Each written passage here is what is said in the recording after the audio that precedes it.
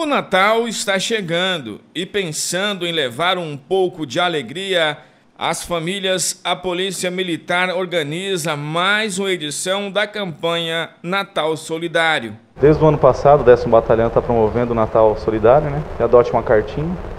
É, o ano passado nós fizemos muito parceria com as escolas. Esse ano, por causa desse, da pandemia, nós estamos com, pedindo para as pessoas fazerem as cartinhas, as crianças peçam através da cartinha aquilo que querem, né? É, ganhar de presente, entregar aqui no quartel até o dia 11 de dezembro. Do dia 11 de dezembro ao dia 18 de dezembro, ocorrerá a fase de adoção e recebimento dos presentes. A pessoa que se sentir comovida, tocada, que queira pegar essa cartinha e adotar, as entregas serão no dia, a partir do dia 21 né, de dezembro se quiserem participar conosco na entrega, fiquem à vontade e será feita a entrega por nós aqui do Núcleo Social e as pessoas que quiserem participar também.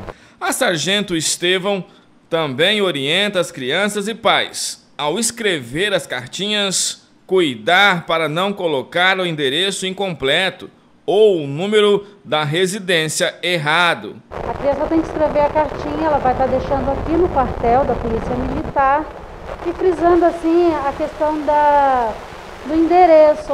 O ano passado nós tivemos dificuldade com algumas cartas que a gente não conseguiu localizar. Se puder deixar o telefone, o endereço, né, a idade da criança que facilita também na hora da adoção da carta para poder estar tá pegando, escolhendo o presente de acordo com a idade.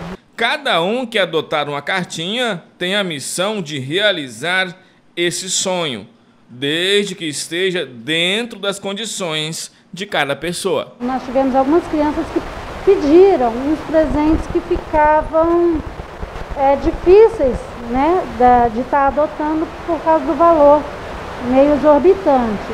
É, esse ano a gente já está recebendo, as que a gente recebeu é muito cesta básica, cesta de chocolate, que fica mais fácil para ser adotada. Quando o valor é muito alto, aí vai ficar difícil de alguém estar tá ajudando a criança. Então, se assim, a gente pede para os pais, que geralmente os pais auxiliam na confecção das cartas, né, para a criança não estar tá pedindo algo que geral, de repente ela não vai conseguir ganhar. Né? Então, algo que esteja de acordo com o valor que ele possa receber.